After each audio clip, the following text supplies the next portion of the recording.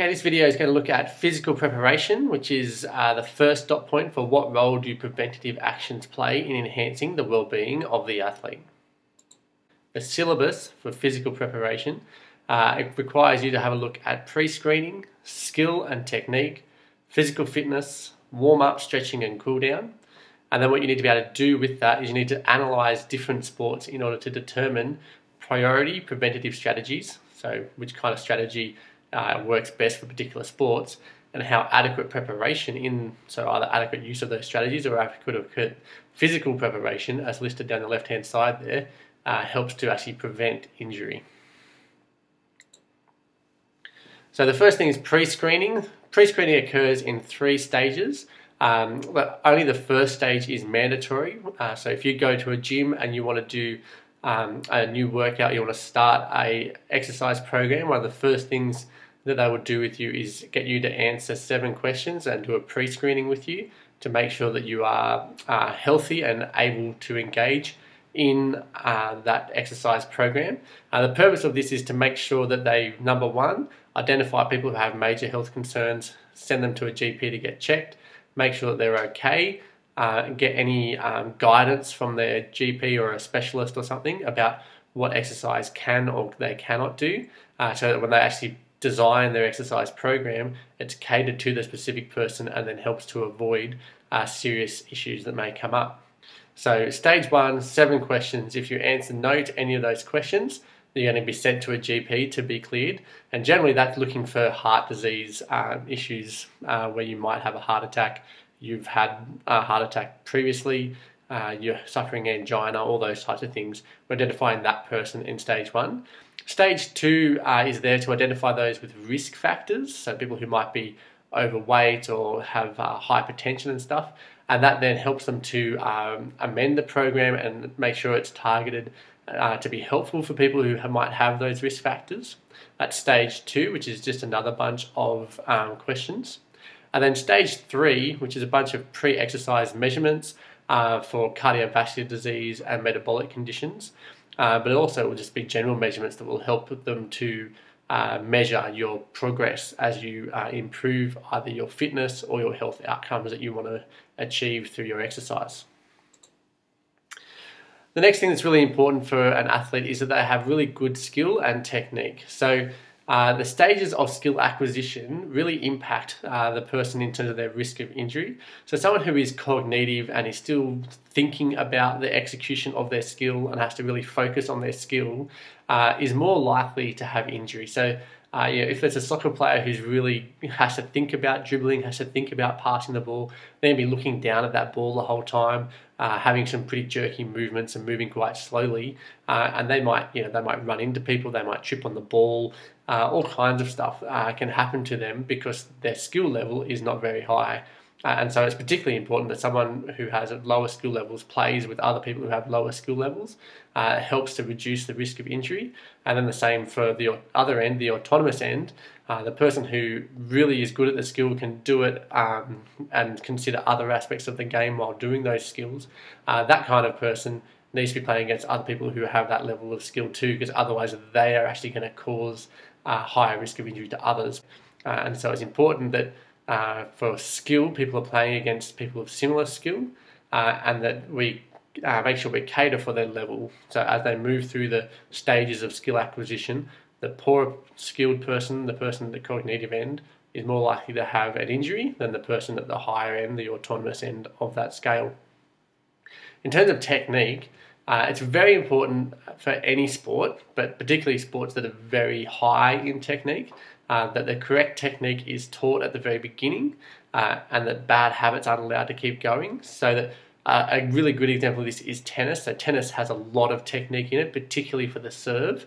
Uh, and so if you have an athlete who is never taught how to do a serve and just really wants to play tennis and practices over and over and over again uh, to improve their serve, they're actually quite likely to cause themselves uh, an injury, an overuse injury, um, or even just a general injury because of poor technique.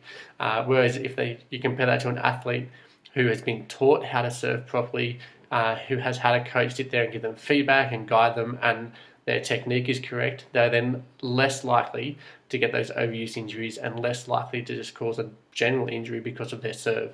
Uh, so, correct technique, and that applies to pretty much every sport, good technique will reduce the rates of injury. General physical fitness. Now, most often when people think of physical fitness, they think cardiovascular fitness. But remember, when you think of physical fitness, you have to think of all the health and the skill related components of fitness. So that's cardiorespiratory fitness, that's muscular endurance fitness, that's muscular strength fitness, uh, that is agility fitness, power fitness, all of those things coming together uh, within physical fitness. And so it's very important that the person is physically fit for their specific sport. So when we have a think of gymnastics, for example, an athlete who performs gymnastics, they need to have good muscular endurance, really good muscular strength.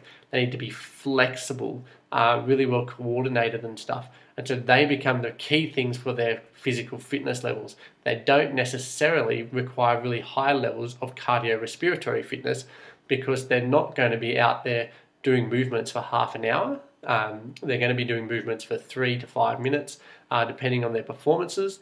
And so uh, they need to make sure they are physically fit for their sport. If I compare that to someone who plays uh, football or soccer, uh, that's a 19 minute long sport. The person must have good cardiorespiratory fitness for that. Uh, they also need to have good uh, muscular endurance for that because they're going to have repeated movements over and over again. Uh, they need to have really good agility, really good um, power and speed because they're going to kick the ball. They need to do short, sharp sprints and change direction and dodge defenders. And so they require different types of um, physical fitness, different components of physical fitness for their sport. And so when you think of physical fitness, don't just think cardiorespiratory fitness. You need to think of both the health and the skill related components of fitness and how and then think of the specific ones for the sport of your athlete. When it comes to a warm up, the purpose of the warm up is essentially to get the blood flowing to the muscles that need it so that they're already nice and warm. Uh, the aerobic energy system has been kicked into gear and the athlete is now able to really produce ATP quite quickly.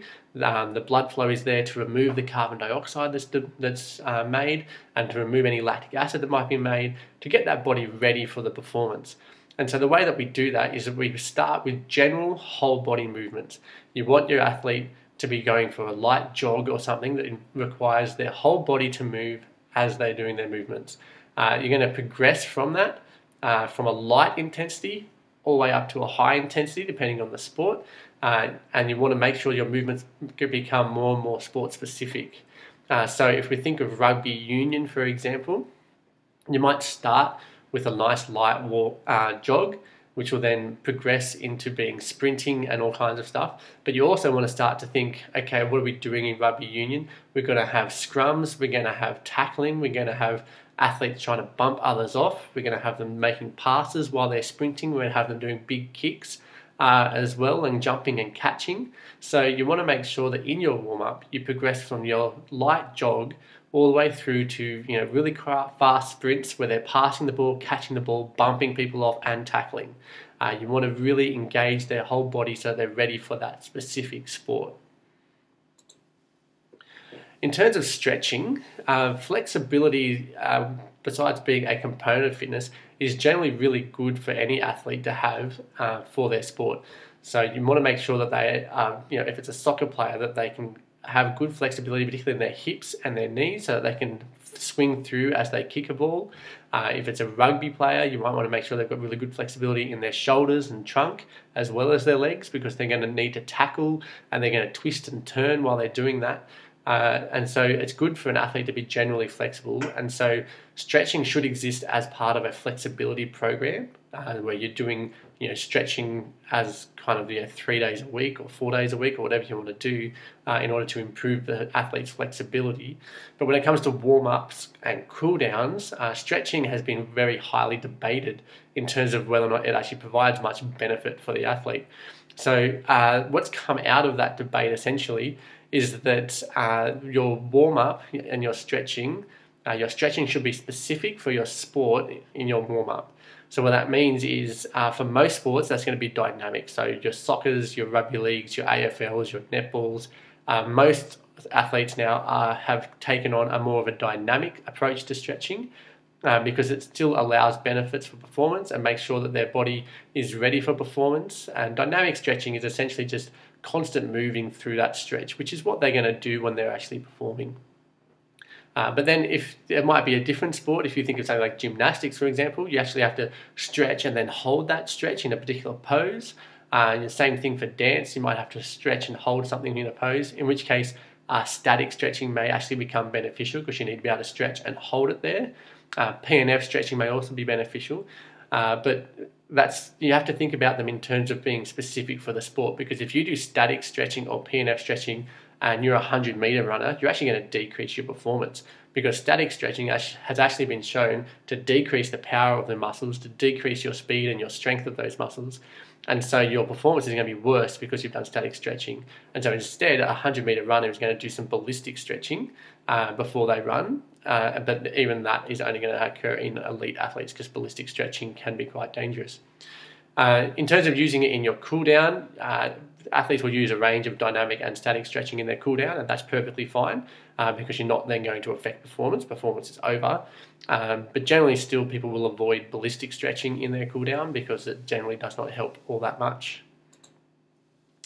During the cool down, uh, what you're essentially trying to do is uh, bring your body back down to its pre exercise metabolic rate. So what that means is you want to bring your heart rate down, bring your uh, breathing rate down. You want to make sure that you've removed uh, most of the carbon dioxide, most of the lactic acid. And so, what you do is you, you uh, bring your body back to those metabolic rates slowly. And so, you, your cool down is going to do the opposite of your warm up. It's going to decrease in intensity, it's going to become less specific uh, as it goes. It's going to help to move the blood away from that uh, the muscles that were used. So if you've been playing um, rugby union or something for hours and you've got lots of blood in your legs and stuff, um, if you stop exercising, then that blood is going to stay there and kind of pool, uh, and it's not going to be good for your recovery. Whereas if you do a cool down, it's going to help to remove that blood from your muscles because your muscles are no, now no longer demanding it and your body will start to send that blood elsewhere to where it is needed, back to your digestive system, for example, to get some nutrients to help it to recover. Uh, and so that cool down is going to essentially help to uh, redistribute your blood throughout your body and remove any kind of waste products. It'll help to decrease your muscle temperature back down to what it was, uh, and it'll also deliver some of those vital nutrients that are required for recovery. Priority preventative strategies. So this is your learn to. So what strategies are actually going to be most uh, beneficial for my sport?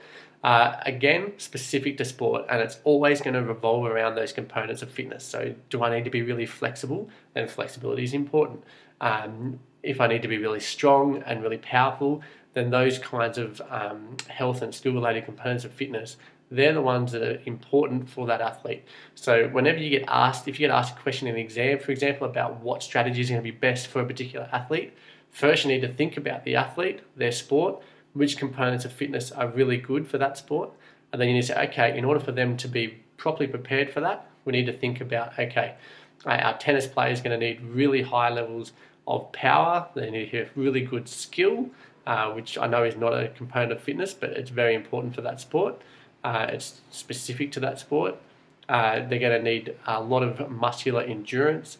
They're going to need plenty of agility uh, for that sport. And so they're the things you're going to prioritize uh, for their performance. So you're not going to uh, necessarily prioritize their flexibility. Not that it's not important for them, but it's not as high as an importance as uh, their agility is. you're always going to include warm ups and cool downs. they are easily the most beneficial thing for avoiding injuries for players. Uh, and you also want to make sure that you're matching skill levels uh, with the appropriate um, competition. So, someone who is autonomous should be playing in an autonomous competition, and people who are beginners and are con- cognitive skill um, executors, those kinds of players, they need to be playing against people who also have that. And they also should be getting some feedback from their coaches about you know making sure that they actually are developing their skill appropriately and make sure they've got good technique. So, how does adequate preparation actually reduce injury? So, essentially, uh, your pre screening is going to identify all those higher risk things and allow the person who is in charge of that sport or that exercise program to cater uh, what they do to reduce the risk. So if someone comes and they've just had uh, heart surgery, you don't then go and throw them into playing a flat out um, football game, or you don't have them doing sprints, you don't have them lifting really heavy weights over their head. Um, the exercise professional can then cater the exercise training and the performances and stuff to um, the person who has those risks. Uh, it also helps to make sure that the person is uh, fit or has appropriate level of fitness for their specific sport. So again, going through those components of fitness, making sure they're ready for their sport. Uh, you don't just want to take a gymnast and throw them into an AFL game. They're going to really struggle because they're not going to have the cardiorespiratory fitness to maintain that level of intensity for that long. Um, they may not even have the right technique or the right skills. So you really have to think through all those things that are specific for sports to make sure that the person is properly prepared and that then reduces uh, their chances of injury.